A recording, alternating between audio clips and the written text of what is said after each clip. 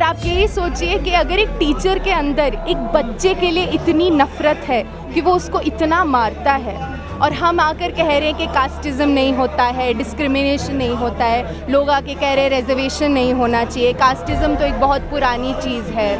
ये कहाँ है?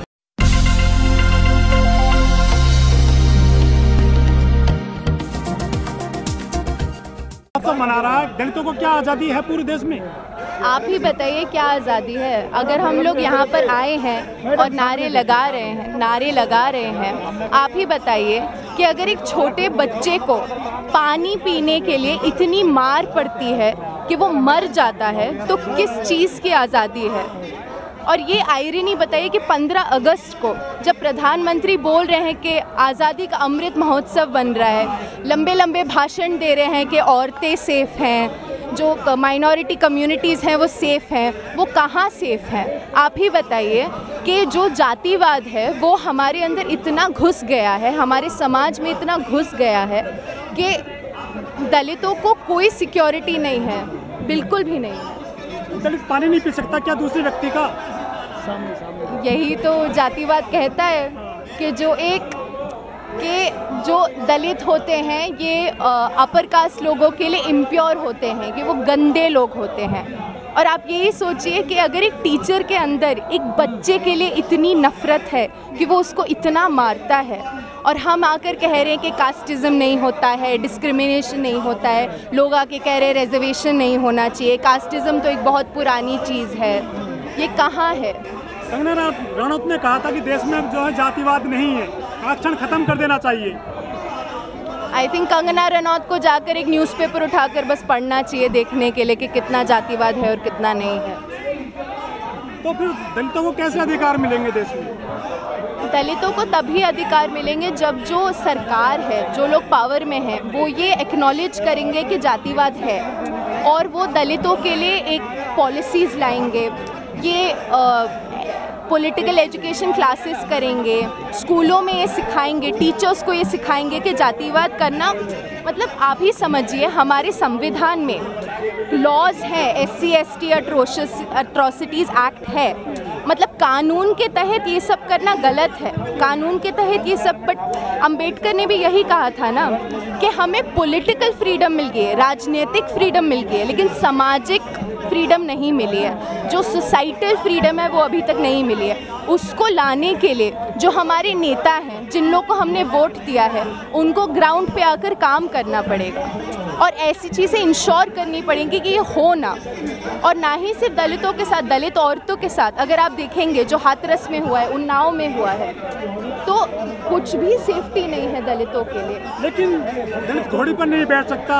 मूछ नहीं रखा सकता नए कपड़े नहीं पहन सकता तो फिर कैसे करेगा दलित अपना जीवन सर्वाइव वही तो नहीं कर पाएगा। यही तो उनका पूरा मोटिव है कि दलित आ, दलित आगे ही नहीं बढ़े।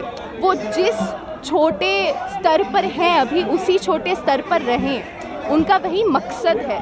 इसीलिए वो ये सब करते हैं। प्रधानमंत्री नारा लगाते हैं सबका साथ सबका विकास। तो आज़ादी का अमृत महोत्सव भी मना रहे हैं। तो क्या अभी तक सबका साथ सबका विकास नहीं लग रहा? देखिए अगर जब हम लोग छोड़ के नहीं नहीं कुछ घटनाओं को छोड़ के जो मेजॉरिटी की घटनाएँ हैं वो एक्सप्लॉयटेशन की ही हैं। ऐसा नहीं है कि यहाँ पे कुछ अच्छी घटनाएँ कुछ बुरी घटनाएँ कि बुरी चीज़ें तो रहती हैं समाज में। ऐसा बिल्कुल भी नहीं है। लेकिन कोई हथनी मर जाती है देश में तो प्रोग्रेसिव लोग ट्वीट करते हैं आँसू बहाते हैं एक दलित बालक की मौत हुई है खुलकर कोई सामने नहीं आ रहा है। बिल्कुल भी नहीं आ रहे। आप देखिए हमारे पीछे प्रदर्शन चल रहा है। कितने बच्चे हैं वहाँ पे? कितने लोग हैं वहाँ पे? और यहाँ पे आप देखिए वहाँ पे ब्राह्मणों का कुछ चल रहा है कि कोई बीजेपी एमएलए ने कुछ लड़की को कुछ कह दिया है तो सारे त्यागी लोग आ गए हैं कहने के लिए कि गलत हो रहा है। तिरंगा यात्रा जब देश निकालता है तो रोड पे लोग भर जाते हैं पूरा लाइन में लग जाते हैं। लेकिन एक दलित के लिए प्रदर्शन करने लोग आए हैं संख्या बहुत कम है। तो क्या ये सोच जो है बन गई है कि अपना अपना समाज बांट लिया लोगों ने? बिल्कुल, और यही तो चीज़ है ना, ये सरकार करना चाहती है। आप देखेंगे कि हर जगह मोदी सरकार सबसे ज़्यादा काम किस पे लगाती है? एडवर्टाइजिंग पे लगाती है। वो ब्लैक बिलबोर्ड वगैरह लगाती है मेट्रोस पे लगाती है कि आज़ादी आ गई है। हमें फ़ोन पर आ रहा है कि आप तिरंगा के साथ सेल्फी लगाइए। तब जाकर अब हम आपको सर्टिफिकेट देंगे। वो आज़ादी की बात करते हैं। वो आज़ादी हम नहीं मान रहे हैं। अच्छा कहने वाले लोग तो ये भी कह रहे हैं कि वहाँ स्कूल में नल लगे हुए थे, लेकिन उसको मटकी से पानी ही क्यों पीना था? आप यही सोचिए ना कि ये कैसी चीज़ है कहने के लिए। एक बच्चे को पानी पीना है मैम। उसको पानी पीना है तो मतलब एक टीचर के अंदर कितना नफरत होगा कि वो उसको इतना मार दे। और आप ही सोचिए ना वो बच्चा है वो टीचर है वो बच्चे ने उल्टा कुछ कहा भी नहीं होगा कुछ किया भी नहीं होगा। बस एक ज़िंदा लाश को मारे जा रहे मारे जा रहे इतना मारा कि वो मर गया। पानी पीने के लिए। हम कैसे देश में रह रहे हैं? क्या हो क्या रहा है इस देश में? मैडम लोग कहते हैं कि जो स्कूल है वो तो शिक्षा के मंदिर है। वहाँ ज्ञान दिया जाता है, वहाँ जातिवाद की पाठशाला चल रही है। वही, बिल्कुल। मतलब जब अंबेडकर ने कहा था कि दलितों को मंदिर में एंट्री होनी चाहिए, वो इस मंदिर की भी तो बात कर रहे थे ना, जो विद्या है। विद्या भी तो एक तरह का एक डिवोशन है, एक वर्शिप है। उसके लिए अगर एक्सेस नहीं मिलेगा, और आप ही ये देखिए कि अगर जो ये लोग हैं इन लोग को एजुकेशन नहीं मिलेगा तो वो कास्ट सिस्टम से लड़ेंगे कैसे? ये एक बहुत ही स्ट्रक्चरल चीज़ है ताकि वो दलितों को एजुकेशन से दूर रख पाए। अपर कास्ट मरता है तो एक करोड़ रुपए मिलते हैं नौकरी मिलती है सरकारी। यहाँ कुछ नहीं मिला है कन्हैया लाल के परिवार को तो नौकरी मिली है। वही तो बिल्कुल तो वही तो मैं कह रही हूँ कि एक स्ट्रक्चरल चेंज होना चाहिए गवर्नमेंट में पॉलिसीज़ में। जो सरकार है वो दलितों के लाइफ्स को एक इम्पोर्टेंस समझती ही नहीं है औरतों के लाइफ को इम्पोर्टेंस समझती ही नहीं मतलब जो मौजा वो भी जाति देखकर मिलेगा। बिल्कुल वही है। जो सारे जो भी बेनिफिट्स होंगे वो सिर्फ़ अपर क्लास और अपर कास्ट लोगों को ही मिलेंगे। मैं स्टूडेंट हूँ है ना? तो मैं मेरी अभी क्लासेस वगैरह चल रही है। मैं यहाँ पे क्यों आई हूँ? क्योंकि मैं डरी हुई हूँ अपने देश के लिए। मैं डरी हुई हूँ अपने भविष्य के लिए अपनी साथी दोस्तों के लिए मेरे दोस्तों के लिए। मोदी सरकार में पायल तड़वी की मौत हुई।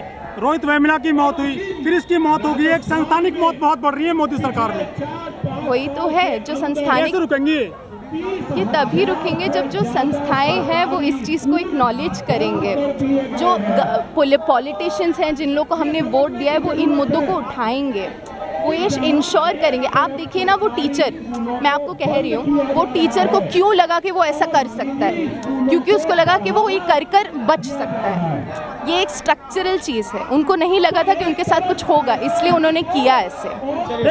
चलिए, बहुत बहुत शुक्रिया। तो आपने देखा किस तरीके से यहाँ पर लगातार जो है प्रदर्शन किया जा रहा है। राजस्थान का इंद्र मेघवाल, यानी कि 9 साल का मासूम, किसी एक सवर्ण मानसिकता के घाट, मौत के घाट उतर जाता है। सोचिए कि ये स्वर्ण मानसिकता के लोग किस तरीके से जातिवाद फैलाते हैं, किस तरीके से, जिस तरीके से इस देश में आज़ादी का अमृत महोत्सव मनाया जा रहा है, वही एक इंद्र मेघवाल नौ साल के मासूम को अपनी जान गंवानी पड़ती है। सोचिए, ये कैसी व्यवस्था है?